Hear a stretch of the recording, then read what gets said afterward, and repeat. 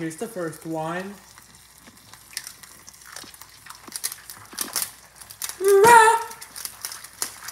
And finally, the last one.